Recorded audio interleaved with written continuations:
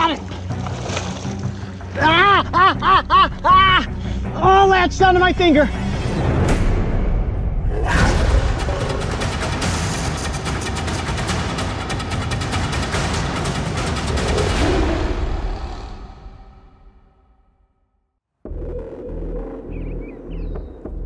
During the warm months of summer, the wetland ecosystems of the northeastern United States are a lush catacomb of plants and well camouflaged animals.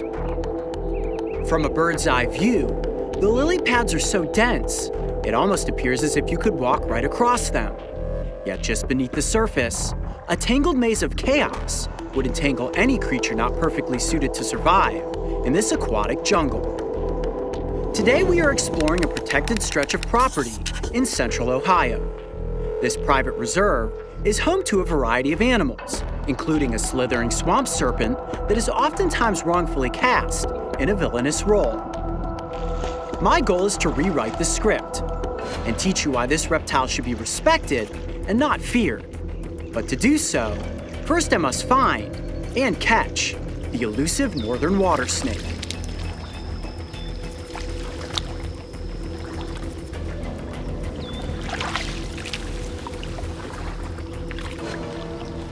This out. Oh. Whoa.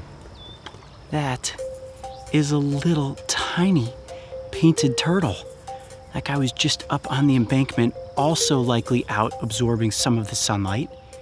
He didn't even see us coming. Definitely didn't expect a predator to come from the water in towards the edge. Look how cute he is. All right, I'm gonna place him back. Believe it or not, a turtle of this size is the perfect meal for one of the northern water snakes that we're looking for. You stay safe out there, little buddy. Okay. The search continues. We continued on course, battling the thick grasp of dense vegetation as the sun beat down overhead. The conditions were perfect, but the snakes were nowhere to be seen. this environment, it's just so tough to move through. All of these lily pads just grab at your legs as you're moving through. And the problem is that I'm disturbing the environment a lot. Now, these snakes can feel vibrations in the water. So as I approach, there could be one curled up on the lily pad who completely dive under the surface before I even got close. Let's check up here near these taller grassies. Maybe we'll have a chance. For a reptile, even a finely tuned predator like the water snake, staying perfectly camouflaged in the environment means survival on many levels. Not only does it keep them poised for an attack on any unsuspecting prey item, it also keeps them hidden from the sights of larger animals that would in turn love nothing more than to have a delicious snake lunch. In today's scenario, I am playing the role of a predator, and while I don't eat snakes, my would-be prey has finally been spotted. Mario, snake, snake, snake, snake. All right, I'm making a move on it. Got it. I'm losing, I'm losing it. Ah, ah, ah, ah, ah. Oh, latched onto my finger. Ah, oh boy. Ah, that's a big bite. Woo! Ah, ah, latched onto my arm. Okay, well, that's what happens when you grab on to the northern water snake. You stand the chance, ouch, of taking a pretty good bite. That is a good sized snake right there. Wow. Oh boy. Yeah, I am definitely bleeding, but that is okay. We have got our snake. Wow. All right, guys, let's get into a slightly more controlled setting and get this one up close for the cameras. Youch. Took a bite on the finger and a full bite all across my arm. Yes, we got one. Oh, well, that was one arduous search, but we finally managed to catch a northern water snake.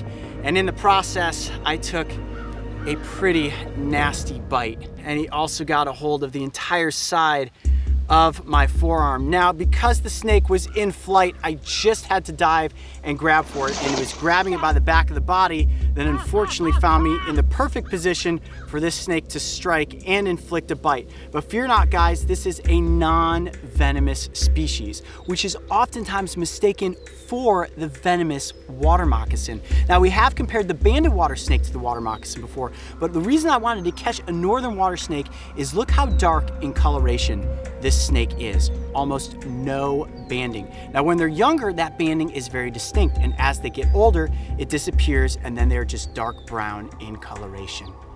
Uh, this is one of the most common aquatic snake species that you will find here in the northeastern United States and pretty good size. They can get a bit bigger than this, closer to four feet at full length. I would guess that this is likely a male. The females do grow larger than the males, but nonetheless, an absolutely gorgeous reptile.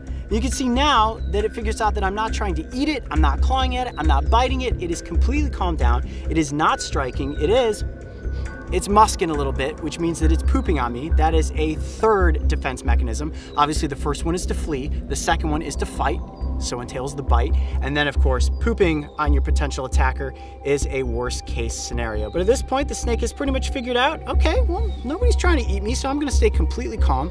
Let me see if I can get just stretch out in my hands there. Look at that.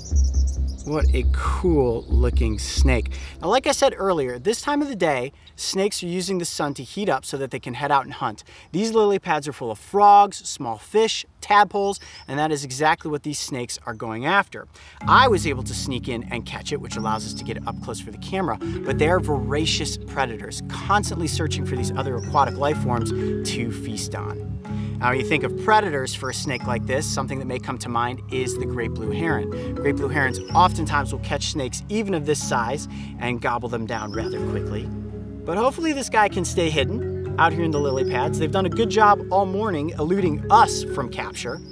Now we saw a couple of smaller ones earlier that just were too quick for me to catch, but that was simply a matter of being in the right place at the right time to get this reptile in front of the cameras. And you can see if I put my finger out just in front of his nose there, He's gonna stick out his tongue, and that's him sensing me.